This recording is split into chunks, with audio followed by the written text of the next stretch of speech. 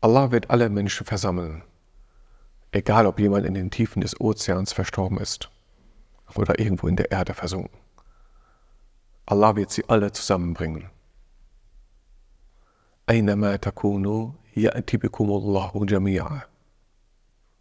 Wie Allah sagt, wo immer ihr auch sein mögt, Allah wird euch alle zusammenbringen. Wo auch immer ihr seid, selbst im Weltraum. Allah wird euch zusammenbringen, denn das gesamte Universum gehört nur ihm. Selbst die Tiere werden mit einbezogen sein. Wie Allah sagt, wenn die wilden Tiere zusammengetrieben werden. Das wird am Tag der Auferstehung sein.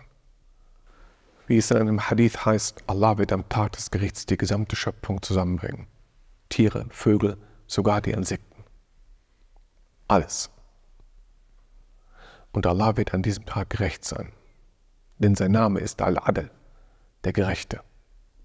Und zur Gerechtigkeit Allahs gehört es, dass er selbst das Unrecht zwischen den Tieren ausgleicht. Und wenn es nur eine Ziege ist, die Hörner hatte, und die einer Ziege, die keine Hörner hatte, Unrecht angetan hat. Selbst dieses Unrecht. Und nachdem alle Streitigkeiten beigelegt sind, wird Allah den Tieren befehlen, zu Turab, zu Sand zu werden und sie werden zu Sand. Und das ist der Moment, wo der Ungläubige sagen wird, ich wünschte, ich würde auch zu Sand werden. So wie Allah es im Koran sagt. Und der Ungläubige wird sagen, ich wünschte, ich würde einfach zu Staub, zu Sand werden. Die Menschen werden auferweckt. Sie werden barfuß, nackt und unbeschnitten sein. So wie es der Prophet sallallahu alaihi wasallam sagte. Ihr werdet barfuß, nackt und unbeschnitten auferstehen. Und dann rezitierte der Gesandte Allahs einen Vers aus dem Koran. So wie wir den Anfang der Schöpfung begonnen haben, so werden wir sie wiederholen. So sagt es Allah. Allah wird uns in genau der Form zurückbringen, in der wir geboren wurden, in unserem natürlichen Zustand. Als Aisha das hörte, da war sie besorgt, dass Männer und Frauen am selben Ort sich nackt versammeln würden. Und sie sagte, O Gesandte Allahs, werden Männer und Frauen sich nicht einander anschauen? Aber er sagte, Aisha, die Angelegenheit ist größer, als dass sie darauf achten können. Der Prophet sallam, sagte, dass der Erste, der am Tag des Gerichts eingekleidet wird, der Prophet Ibrahim sein wird, der Freund Allahs.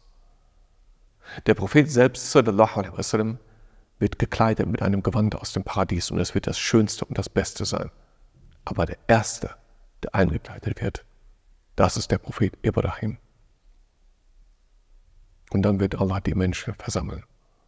يوم تبدل الأرض غير الأرض والسماوات وبرزوا لله الواحد القهار. An dem Tag, da die Erde in eine andere verwandelt werden wird und auch die Himmel. und sie werden alle vor Allah treten, den Einzigen, den Allgewaltigen. Die Erde wird eine andere sein. Es ist nicht mehr dieselbe wie hier. Sie wird ausgebreitet, flach. Sie wird keine Kugel mehr sein. So wie Allah sagt, wenn die Erde ausgebreitet wird, langgestreckt. Und alles herauswirft, was in ihr ist, bis sie völlig leer ist. So beschreibt es der Koran.